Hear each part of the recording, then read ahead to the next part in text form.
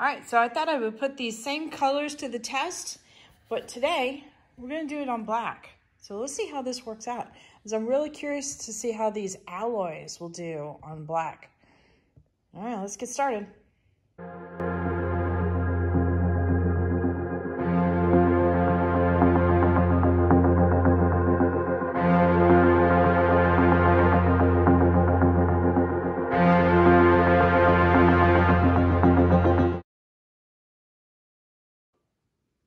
Howdy, howdy, everyone. This is Clara Lawrence. So I was playing with uh, new Ranger colors, the Alloy line, the other day, and I intentionally tried to do a patina kind of look, you know, playing with the coppers and the, the teals and uh, turquoises color range. And of course, I had to throw in a little bit of silver in there because silver always looks good with turquoise.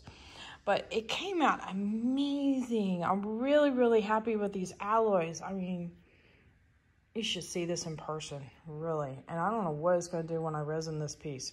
But I was wondering, how would these things react on black paper? And I got this new glossy printed paper, so I'm just curious. So we're kind of going to do a test today.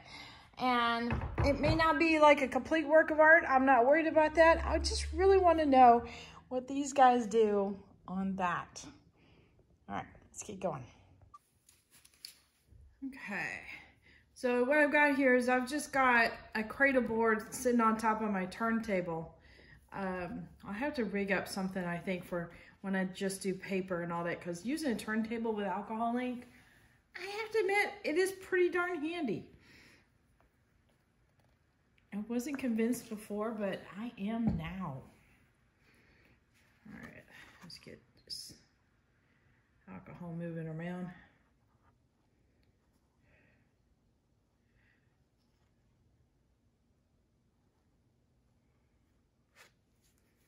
All right.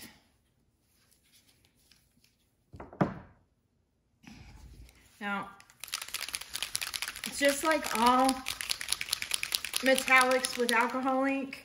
Give them a good shake before you use them. Get all those little metallic bits mixed up in there. All right, here we go. Don't know how much the turquoise is gonna really pop out. So it's also a test for that too. I haven't done a whole lot of, oops, don't wanna add that. But I have a feeling the metallic is gonna show up like crazy. Well, maybe it will. I don't know. Okay, here we go. Oh, I'm gonna do my normal thing. I like to tilt. It kind of gives it a little bit of mixing up, get, brings in some nice blends ahead of time.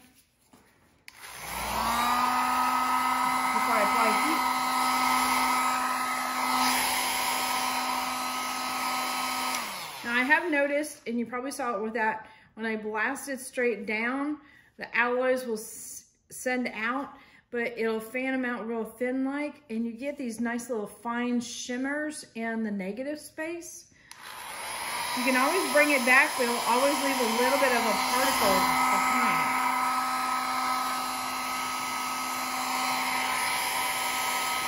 It's really pretty.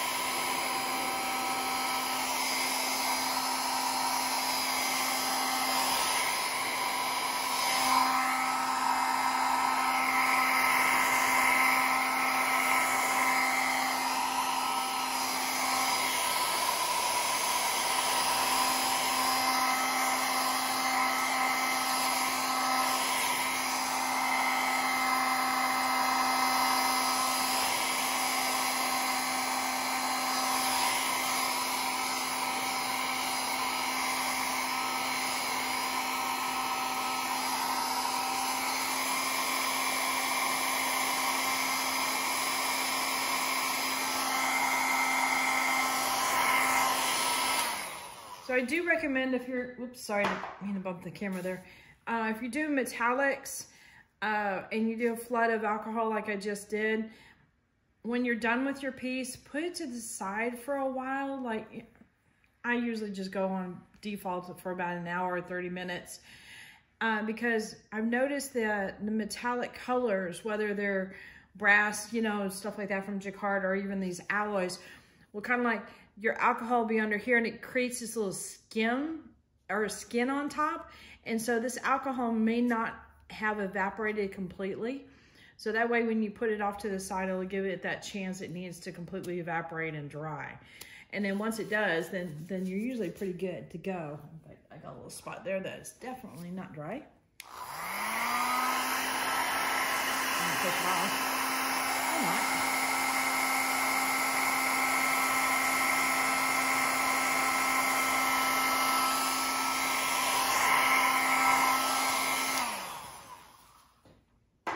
Another thing I could do if I wanted this turquoise to stand out more is I could do a white piece underneath it and wherever the white was and the teal went over top of it, that teal would definitely pop out. But uh, this is a little bit more of a subtle kind of an effect. Let me bring you guys in. So I wanted to bring this piece in first so that you can see how it looks overall.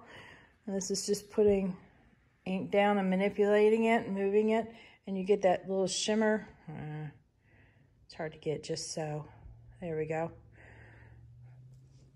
Now, this is without much manipulation, but let me see if I can pick up the piece and move it around. There is a little bit of a shimmer to it. Now, granted, you're also getting glossy, so let's see if I can get it. There we go. Yeah, it is giving a little bit of a metallic shimmer, so that's nice.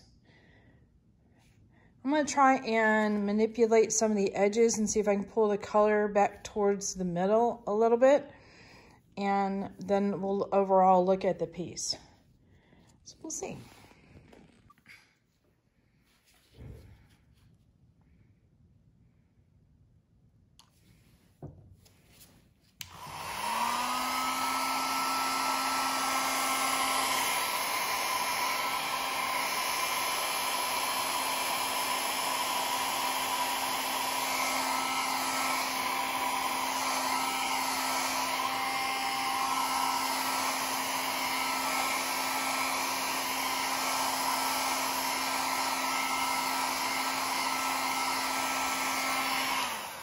So what I'm doing there is just moving the alcohol over and then reactivating some of the colors and bringing the colors back. It does grab some of the particles of the, of the metallics, but it does leave a lot of the metallics behind.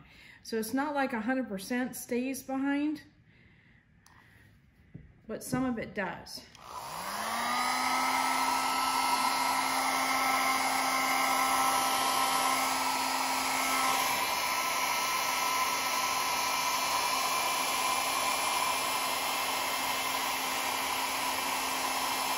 You see some of the metallics right there?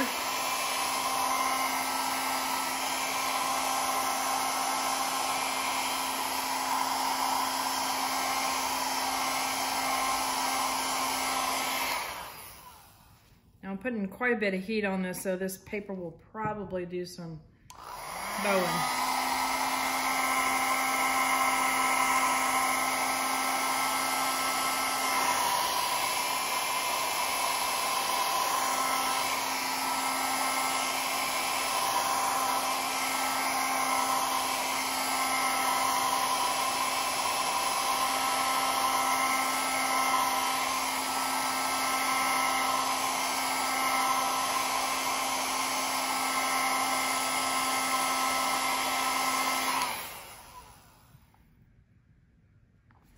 I'll do a test with some white. Um, but I have to wait for some blending solution to arrive. And that's not going to happen for about a week.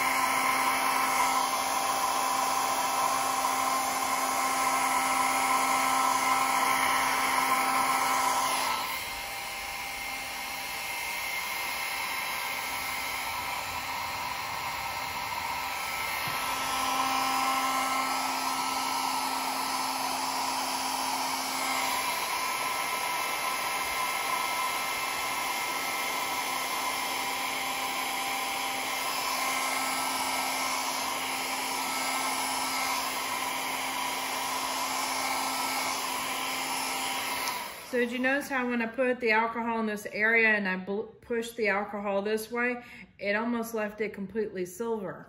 But then when it came this way, it reactivated, came back, and it pulled all that turquoise right there.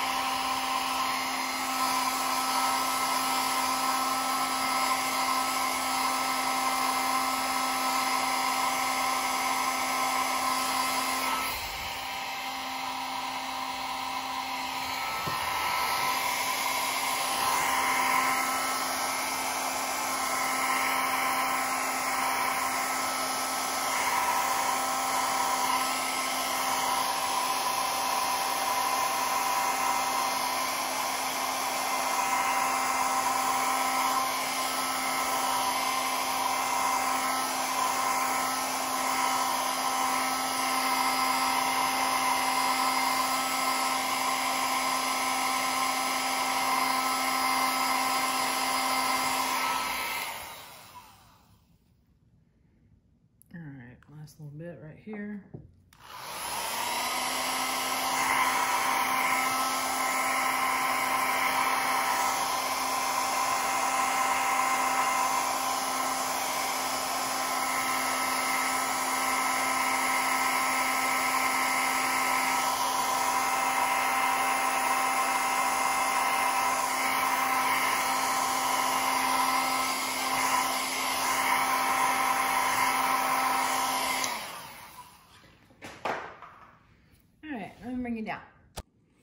Okay.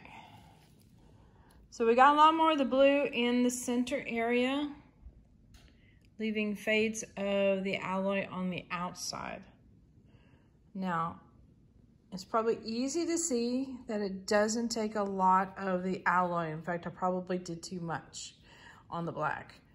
It gives either an overall galaxy appearance or, well, it's almost kind of a hot mess.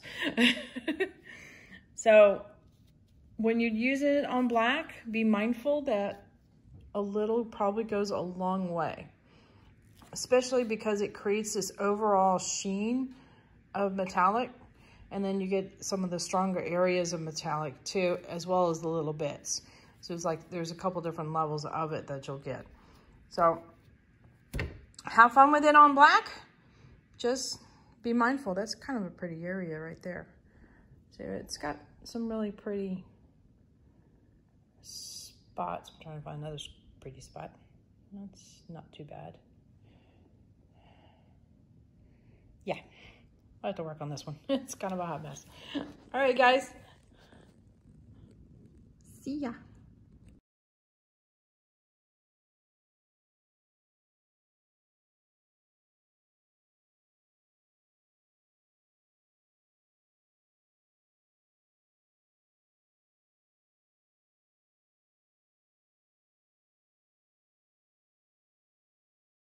Subscribe button, but definitely hit the bell to get notified next time I put a video up. There you go.